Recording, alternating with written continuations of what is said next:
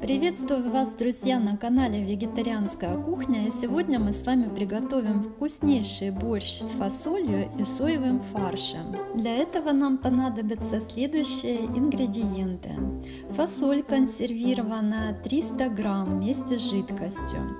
Свекла 150 грамм. Морковь 150 грамм. Томат 300 грамм. Картофель 300 грамм капуста 150 грамм, 2 столовые ложки семечек подсолнечника, лавровый листик, 35 грамм топленого масла, по чайной ложке тмина молотого и паприки. А также мы будем использовать соевый фарш. Я его возьму 150 грамм, половину упаковки.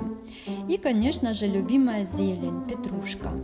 В кастрюле с толстым дном обжариваем семечки несколько секунд до золотистого цвета. Добавляем наши специи и топленое масло и оставляем еще на 1-2 минутки. Затем добавляем соевый фарш. Немножко увеличиваем огонь и жарим 2-3 минуты.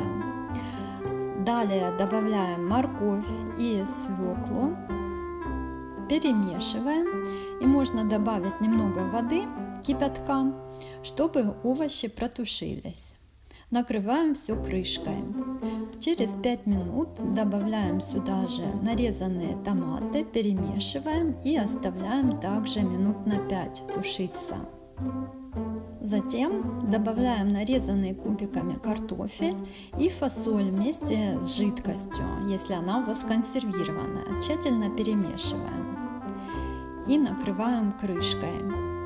Через 10 минут добавляем нашинкованную капусту и заливаем кипятком или же овощным бульоном. Рецепт есть у нас на канале, как его приготовить. Последний штрих лавровый листик и оставляем вариться наш борщ еще на 15 минут. Наш борщ готов и теперь я вам покажу небольшой секретик от французских поваров. Необходимо взять один стакан готового борща вместе с картофелем, фасолью, всем-всем-всем, что там есть, и переложить э, в емкость, взбить в пюре и отправить обратно в борщ, довести его до кипения и оставить отдыхать еще 15 минут. Этот метод придаст нашему борщу особую консистенцию. Он будет густым и приятным на вкус. Подробное описание данного рецепта вы найдете под видео. Подписывайтесь на наш инстаграм и желаю вам всем хорошего настроения. Пока-пока, до новых видео!